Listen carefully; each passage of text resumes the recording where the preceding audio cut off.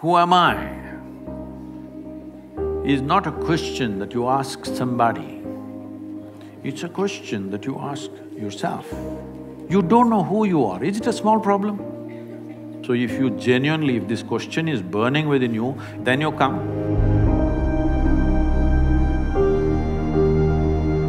Pranam Sadhguru, I am from West Bengal. My name is Shourabhrata Mukherjee. Uh, I have been following you uh, for last three months. Is- and- was that a warning?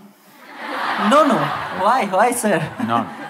I have been following you for several last few months, and I have been watching your videos, and literally I can say that I'm your fan. But I have one question that I have noticed that you have said that whatever we accumulate in our life, like uh, our salary, our reputation, our wealth, our body fat also, it's all uh, we can say that it's mine, but it's not me. You say i have seen this uh, and it's extremely logical. Uh, sure i can say that the house is mine but that's not me. I can say that the body is mine but that's not me. Then what is me? Then what is me? If we if i release whatever i earned if i remove whatever i earned then what is me? What is my existence? That's what i want to know. Uh, Why are you asking sir? me, huh?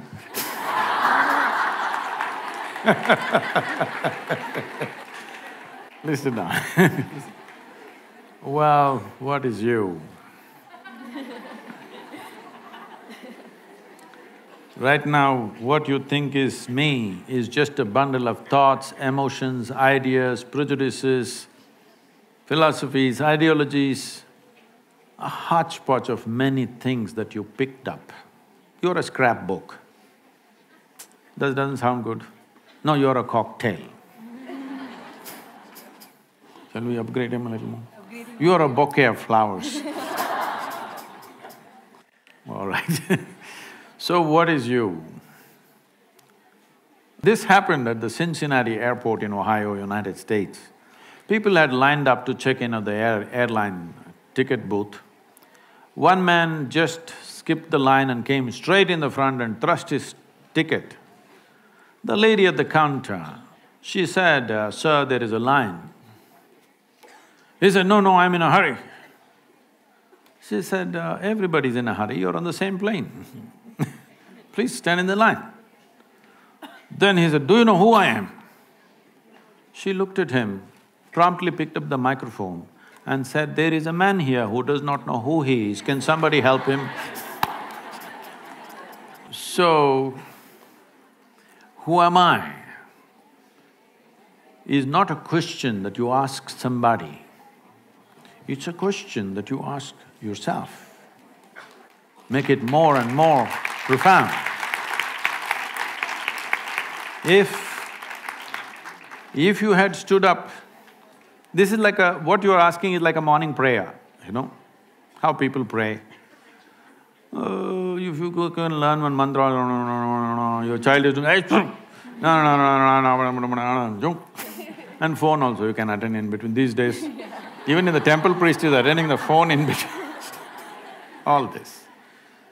This happened closer to Christmas. A lady in Minnesota was praying. It was overheard by the neighbors. She was praying, Dear God, please this time, last time that old fool Santa Claus came and he mistook my prayers. What I want is a thin, slim body and a fat bank balance. Last time he mistook this.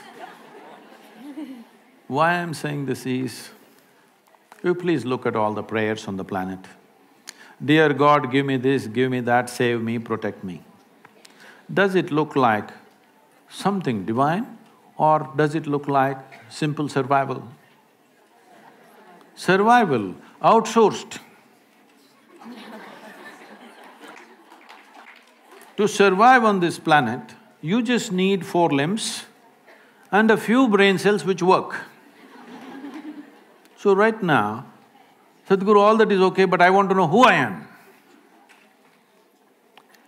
This whole who am I business became very popular because of Ramana Maharshi, you know. You heard of Ramana Maharshi? He's not a Bengali. so Ramana said, who am I and sat down there. People today think they don't have to do anything. If they once in a while ask somebody, who, are, who am I? They think they're being spiritual. I was… I was teaching a program in Los Angeles. There's a bunch of uh, people, about 150 people, all prominent people, many of them from the Hollywood crowd. And a whole lot of young women were looking similar. They… they're not sisters, they have the same doctor. And uh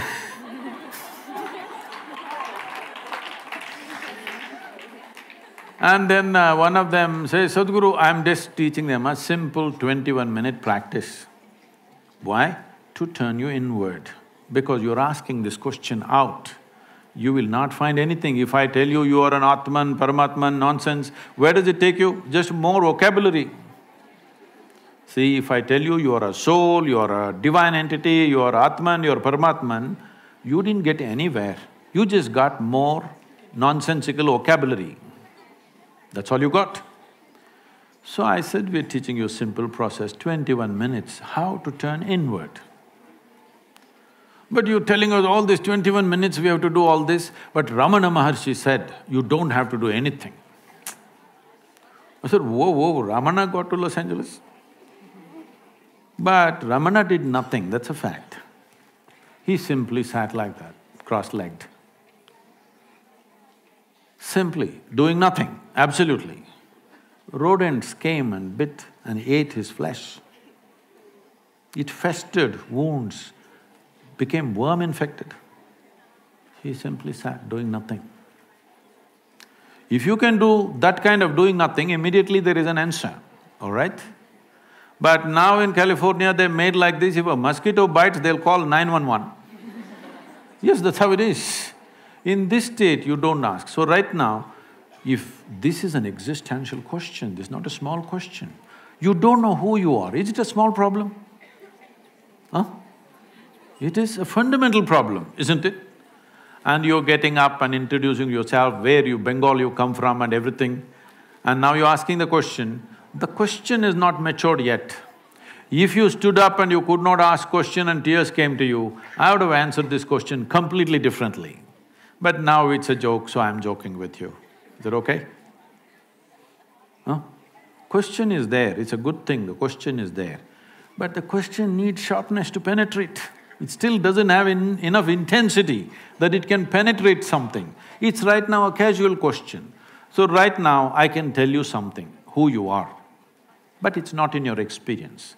If I tell you something which is not in your experience, what can you do? You can believe it or you can disbelieve it. If you believe it, you are not any closer to it.